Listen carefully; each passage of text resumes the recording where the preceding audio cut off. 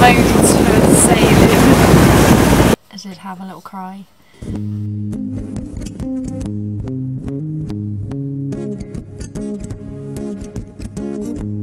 Welcome back, guys. Last time on Two Get Lost, we visited Kyparissi in the Peloponnese and enjoyed the perfect sail back to Portoheli, where we had to say a sad goodbye to our visitors. Where you from? You sexy thing. Ooh, I'll be leaving Barrycones paving since you came along. You sexy.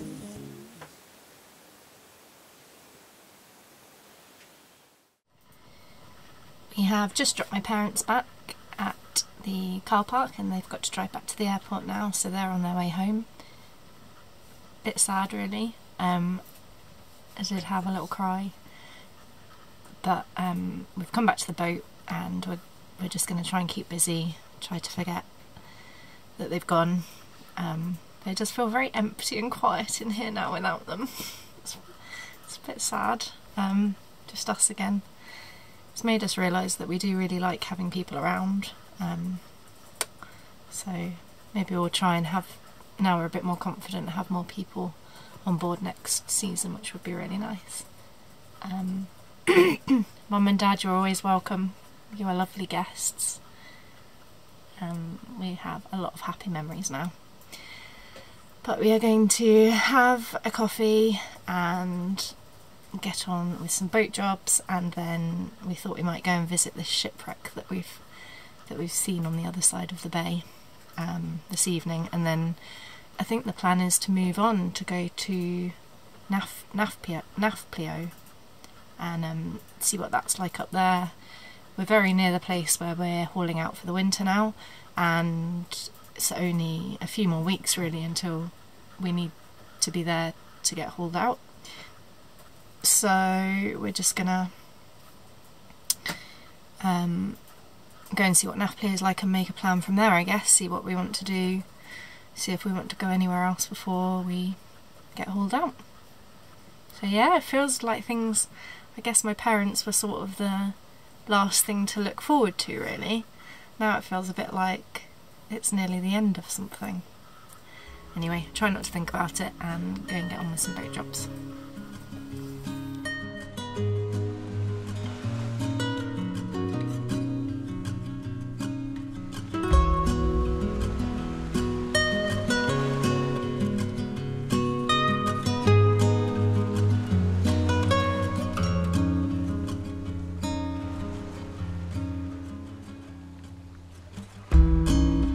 Searching in the dark, trusting every clue I found. But the truth has not been told. Cause every corner of these woods is hollow. I can't see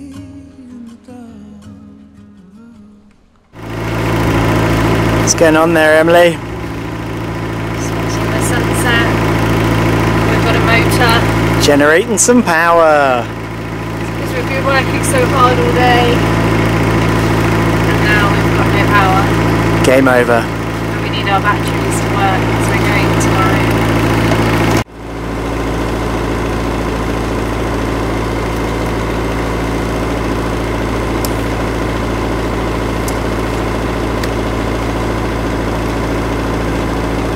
Adam really needs to catch us a fish for tea because we don't have any dinner.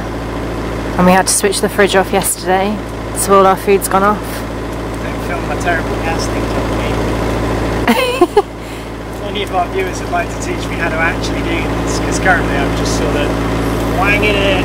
So Adam decided he was going to learn to cast using a pet, a fishing line wrapped around a pen the other day. Really well. Yeah, it worked brilliantly until you threw the pen into the sea and lost our lure. Can't help it. Put plastic into the sea, and then the fish caught it immediately, and I was really cross. now he's doing it with the fishing rod. I think you're supposed to do it over your head, not out to the side like I'm. Every time I do that, I just. Not a bad view to be fishing with. But that noise of the engine is doing our heads in.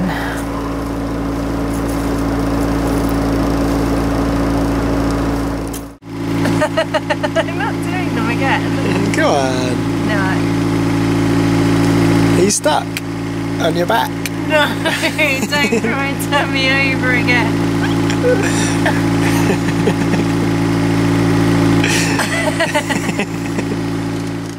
We were pleased to leave Portoheli, as although it had been amazing as a safe place to hide from various storms, it wasn't the prettiest of anchorages. We headed to Nafplio for a change of scenery and stopped off along the way to check out the place we would be spending the winter months.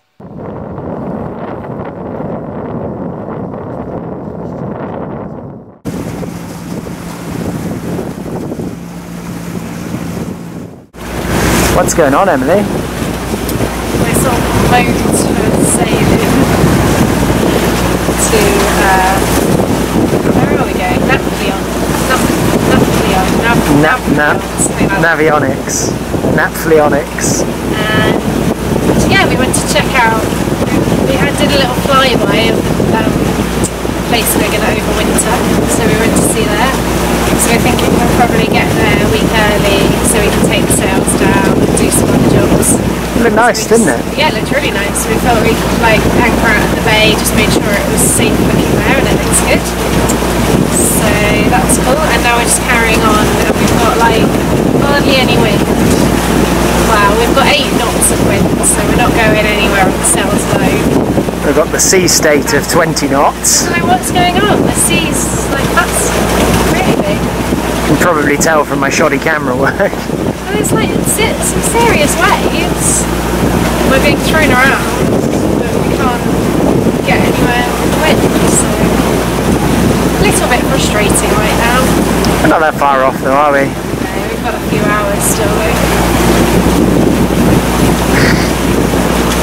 Come on. Some nice relaxing sailing.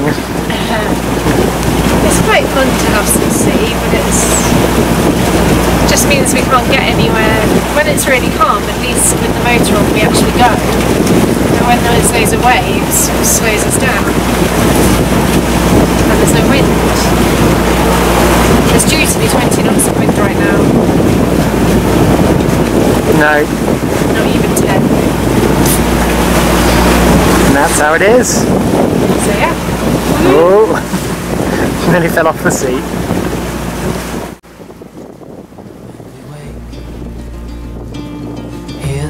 Birds and see the sun. Side by side, our fears are done. All the good times just begun. Oh, we know what we have, let's hold on tight. Found what we're looking for in life. Call us crazy, but things are finally right. You and I, the future is bright.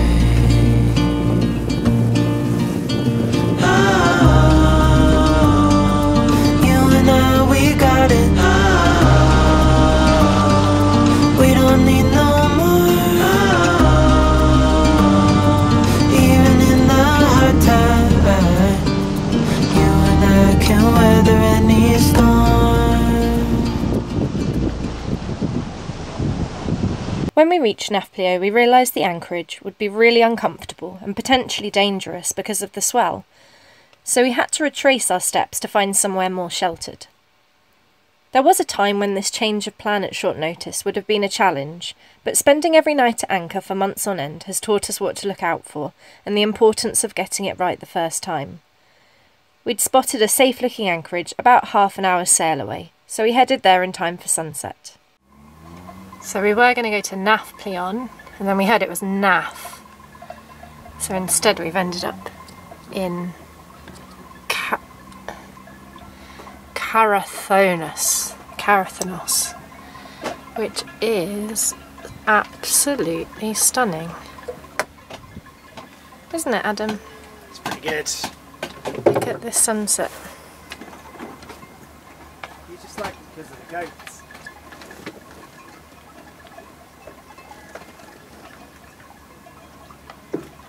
There are a million goats up on the hill over here. You can't see. And it's just absolutely beautiful.